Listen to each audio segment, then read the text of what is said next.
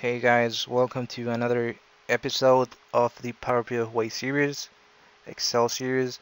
This is gonna be a video response to Mr. Excel and ExcelIsFun Duel. Uh, it's gonna be for the trick 28. Find earliest date from list of dates given uh, using two criteria. This was uploaded on the 19th of September of 2009 and they were using Excel 2007 I believe. We're gonna be using Excel 2010 and we're gonna be using the latest version of Power Pivot we're gonna be using the 11.0.3 now I have the dataset here. I'm gonna just select the range of the dataset I'm gonna copy it. It's on the clipboard right now. I'm gonna click here where it says Power Pivot window now you can see here clipboard. click here where it says clipboard and hit paste.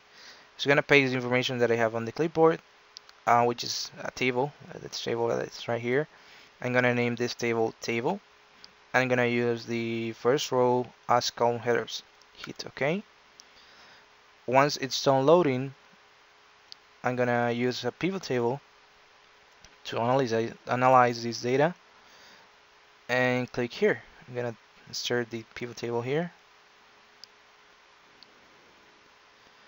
And now I'm gonna set this up so I can actually just select the criteria. I'm gonna drag and drop sales rep and customer here as slicers. I'm gonna take them out of this so I can choose them here and then I'm going to create a formula that will return the first encounter between Mr. Chin and E-Trade. So it's going to be the easiest formula that you can actually think of. Let's go here where it says new measure, new measure, uh, name this encounter. And here the name of the formula of the function is actually first date, just like that. As the argument, I actually just need to input the dates uh, column. And this is this one. Click OK. And that is it.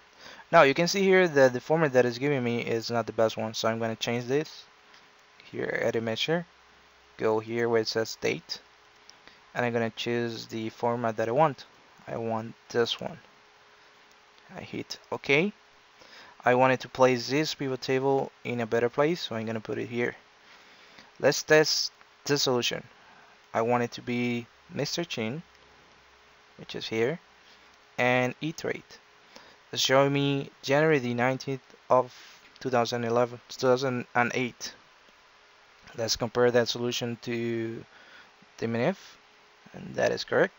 It's giving me the solution that I wanted and that's pretty much it. Uh, uh, what I want you to know is that with this function that you can see here you can combine this with several scenarios just to analyze big data just to actually see uh, any type of trends depending on this date. Uh, so if you guys have any questions regarding this or how it can be uh, uh, used in real life scenarios or situations just let me know leave your comments on the section below. Uh, please comment rate and subscribe. Thanks